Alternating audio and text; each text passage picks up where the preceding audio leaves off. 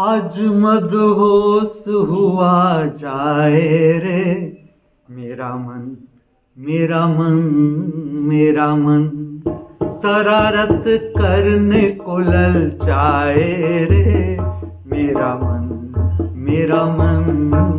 मेरा मन आज मदहोश हुआ जाए रे। मेरा मन मेरा मन मेरा मन। शरारत करने को ललचाए रे। मेरा मन मेरा मन मेरा मन। नमस्कार, वंदन, प्रणाम। कृपया ओम हिमांशु श्री का हार्दिक वंदन। नमस्कार, प्रणाम, स्वीकार करे। अवतरित हो रहा है, उतर रहा है, प्रकट हो रहा है, खिल रहा है, बरस रहा है। संपूर्ण नया, संपूर्ण ताज़ा मंगलवार। ये मंगल में मंगलवार, वो मंगलवार है जो इस पृथ्वी पर, इस मृत्यु लोक पर प्रथम समय अवतरित हो रहा है।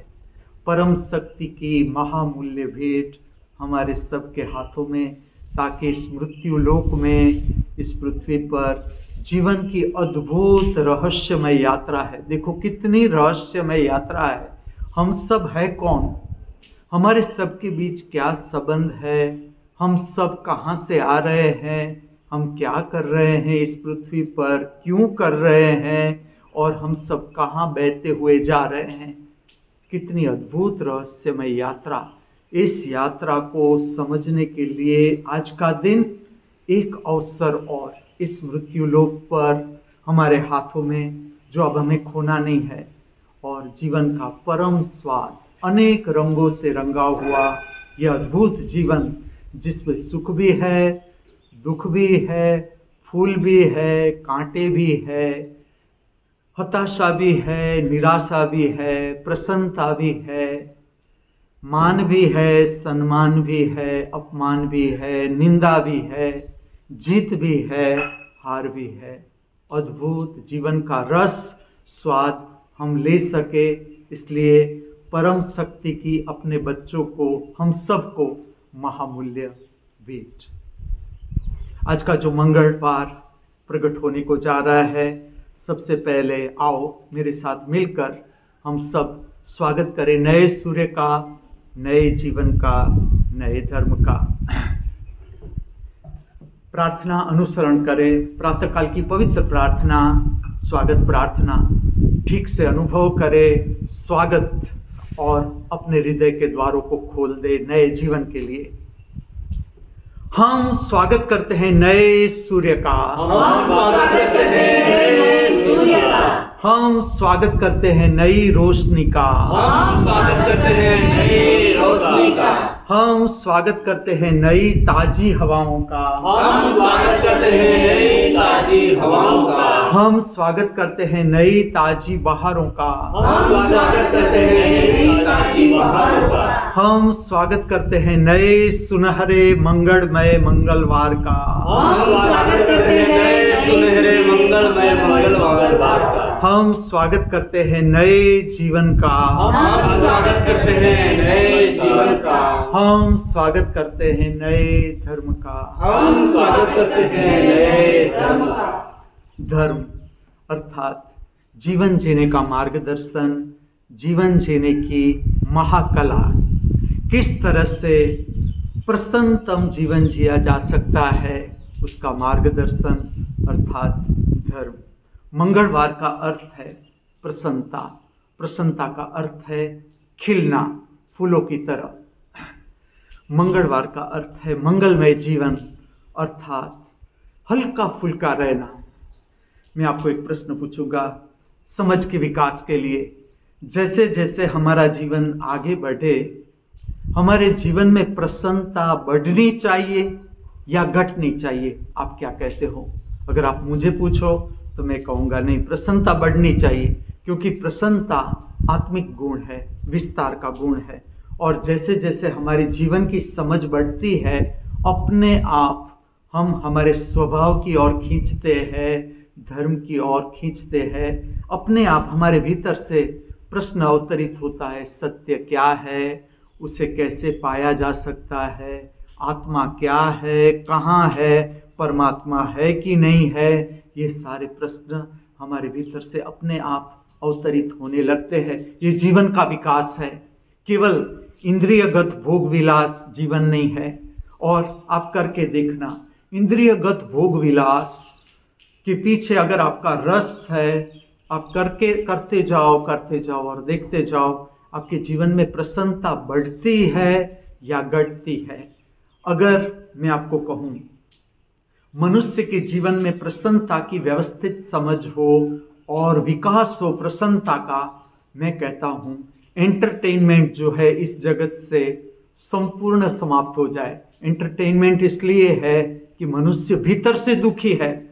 बाहर बाहर हम हँसते हैं, हंसाते हैं, लेकिन भीतर अगर हम देखें, अगर आप अकेले हो जाओ, एक रूम में बंद, और देखो कि सच में एक प्रसन्नता कितनी है, हृदय के अंदर, आपको पता चलेगा, हताशा, निराशा दुख है, और ये दुख जो है, स्वयं को भूलने का दुख है, विस्मरण हो गया, हम कौन है, हमारी आत्मा क्या है उसे समझने का जो अवसर है, हम खोते चले जा रहे हैं। लेकिन मैं आपको कहूँ, जो आपकी व्यक्तिगत समझ है, ये सामूहिक समझ नहीं है, व्यक्तिगत समझ है।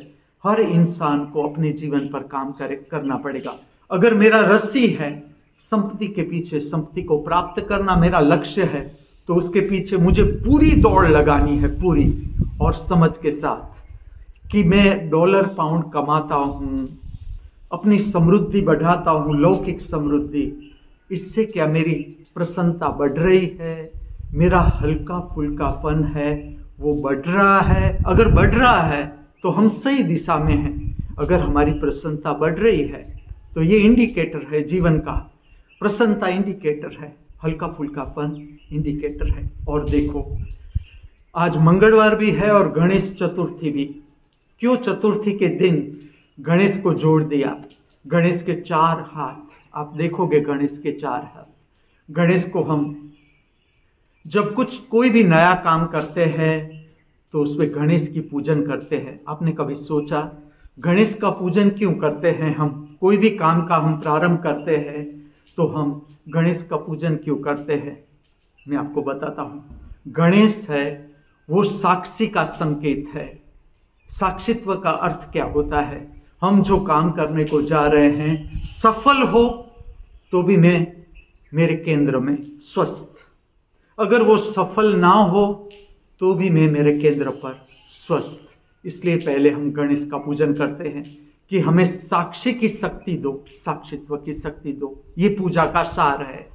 आप देखोगे, मुशिक पर बिठाए हुए गणेश गणेश का कद देखो, मुशिक का कद देखो। इसमें दो रहस्य है। एक है एक संकेत है पर्यावरण का रक्षण, और दूसरा संकेत है बी लाइट हल्का फुल्कापन हल्का फुल्कापन का अर्थ क्या है? समझ लो, आज कोई मेरी मज़ाक उड़ाए तो मुझे मेरे भीतर देखना है। मुझे धक्का लगता है, कोई मेरी मज़ाक उड़ाए तो मुझे धक्का लगता है।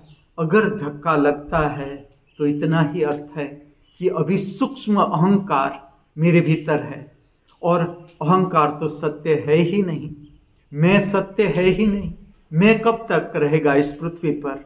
अहंकार के साथ हमारा जितना संबंध गहरा, उतने जीवन में दुख, पीड़ा, संताप, हताशा, निराशा, भय, चिंता, ज़्यादा, जितना हमारा अहंकार से संबंध विलीन होता जाता है, जीवन में प्रसन्नता बढ़ती जाती है। इसलिए मुसिक पर इतने बड़े गणेश, उसका अर्थ है बी लाइट हल्का फुल्कापन के इतने छोटे से मूसिक वाहन पर गणेश विराजमान है, अर्थात भीतर की लाइटनेस हल्का फुल्कापन गणेश के बड़े कान, क्या संकेत है? पूर्ण श्रवण। किसी ने निंदा की? हँसी उड़ाई? वो भी हमने सुन ली। किसने हमारा प्रशंसा की? वो भी सुन ली। गणेश की छोटी सी आँख। पहले तो मैं कह दूँ कि मनुष्य का शरीर और हाथी का चेहरा क्या दिखाता है? ये दिखाता है अहंकार रहितता, मैं विलीन, जो आदर्श जीवन है, आदर्श भविष्य है, मनुष्य को इस दिशा में काम करते जाना है कि किस तरह से भीतर का अहंकार विलीन हो।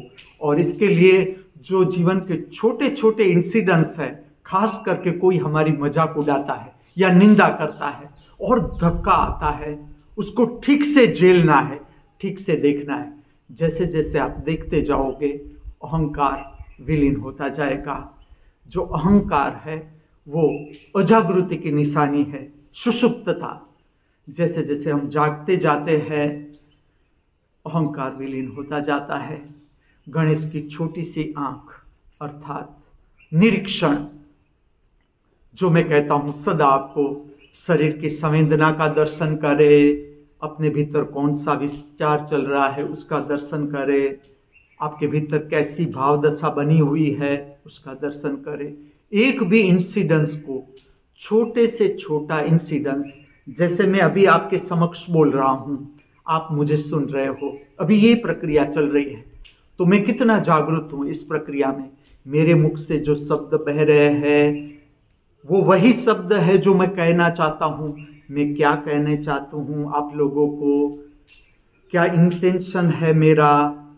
हर जो छोटी छोटी प्रक्रिया, क्योंकि ठीक से समझो, जो जीवन है, वो प्रतिफल हमें भेंट मिलता है। ऐसा नहीं कि मैं इस पृथ्वी पर सौ साल जीऊँगा तो एक ही क्षण में मुझे सौ साल मिल जाते हैं। ऐसे नहीं होता। देखो, किस तरह से जीवन मिलता है हर सांस के साथ। हर नई ताजी सांस के साथ हमें जीवन मिलता जाता है और हर उच्छ्वास के साथ पुराना जीवन समाप्त होता जाता है। तो जो निरीक्षण है, बारीक निरीक्षण, प्रतिपल का, वो गणेश की आँखों से दिखाया गया है। उसके चार हाथ, दो हाथ ऐसे है, एक हाथ में पाश बंधा हुआ है। पास का अर्थ है, हमारा मन हमारा मन ही बंधन है। ये दिखाया गया है। हम स्वयं बंध जाते हैं। देखो, हम ही अपेक्षा खड़ी करते हैं। मन खड़ी करता है अपेक्षा। हम ही बंध जाते हैं। फिर हम मुक्ति के लिए सोचते हैं कि किस तरह से हम ये सारी जंजाड़ जो हमने पैदा की, उसमें से हम कैसे मुक्त हो। तो दूसरे हाथ में जो पास को काटने वाला इंस्ट्रूमेंट है, वो दिखाया गया है। एक हाथ में लड्डू है।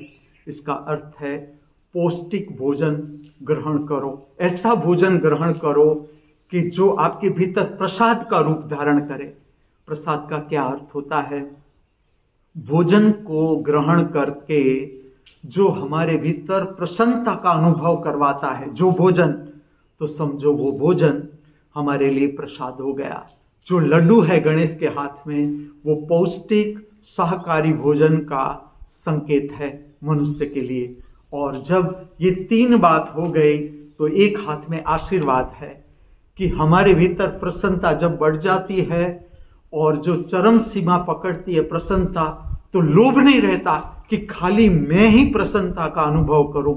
ये भाव भीतर से प्रकट होता है। हर मनुष्य प्रसन्नता अनुभव करे अपने जीवन में। पूरा जगत हर जीव प्रसन्नता धारण करे। ये गणेश की आकृति का संकेत है। बड़ा पेट, सब कुछ अपने भीतर। बड़ा पेट का इतना ही अर्थ है। निंदा भी संभाली पेट में, प्रशंसा भी संभाली हार भी समा, समाविष्ट हो गई भीतर, जीत भी समाविष्ट हो गई, मान भी समाविष्ट हो गया, अपमान भी समाविष्ट हो गया। अर्थात बड़ा पेट जो दिखाया गया है, वो पूर्ण स्वीकार का संकेत है।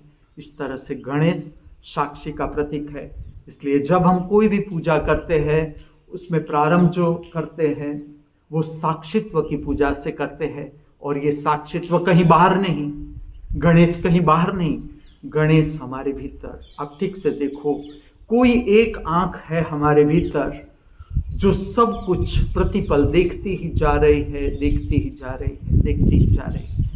हम क्या गलत कर रहे हैं, क्या सही कर रहे हैं, क्या पाप कर रहे हैं, क्या पुण्य कर रहे हैं कहाँ पर हम सत्य बोल रहे हैं, कहाँ पर हम झूठ बोल रहे हैं, सारे के सारे हिसाब हमारे भीतर।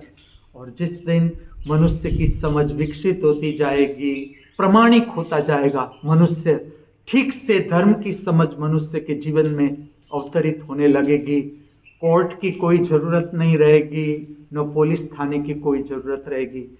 मेरे में इतनी हिम्मत आ जाएगी कि अगर मैं क्राइम करूँ भी, गुनाह करूँ भी तो मैं मुझे छुपाऊँगा नहीं। मैं पूरे जगत के सामने कह दूँगा कि ये क्राइम मैंने किया है, ये गुनाह मैंने किया है। ये जीवन हम इस पृथ्वी पर प्राप्त कर सकते हैं, अगर ठीक से मनुष्य की समझ सही दिशा में विकसित होने को लगी। आज का ये मंगलवार, इस पृथ्वी पर, इस मृत्यु लोक पर सर्व जीवों के लिए कल्याणकारी बना रहो, मंगलमय बना रहो और आज के दिन जो हमें अभ्यास करना है, वो ये करना है कि कितने लाइट है हम।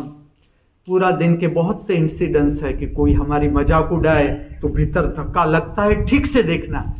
लगता है तो भी मुझे समझना है कि अभी है मेरा अहंकार। किसी और को दिखाने की ये बात नहीं। धर्म है अपनी समझ के लिए, अपने को जानने के लिए।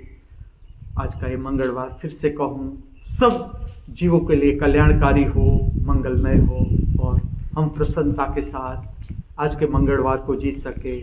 ऐसी प्रातःकाल की हमारी सबकी मंगल भावना, मंगल प्रार्थना, ताकि आज जो गणेश चतुर्थी है, वो ठीक से हम प्राप्त कर सके उसका संदेश और मना सके। अस्तु।